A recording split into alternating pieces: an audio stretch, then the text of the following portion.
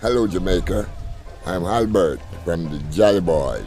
This is our second year of supporting the Age Demands Action campaign. Hello, I'm Johnny from the Jolly Boys.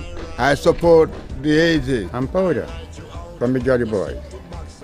I support the ages. People are living longer across the world. In Jamaica, over 11% of the population is 60 and over. Discrimination of older people is rampant. Older people are making significant contribution worldwide. We are older men and we traveled the world with our music making Jamaica proud.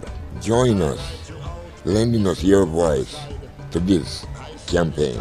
AIDS One Action from you, me, and all of we. Join us! the passenger. I stay under glass. I look you out my window so bright. I see the stars come out tonight.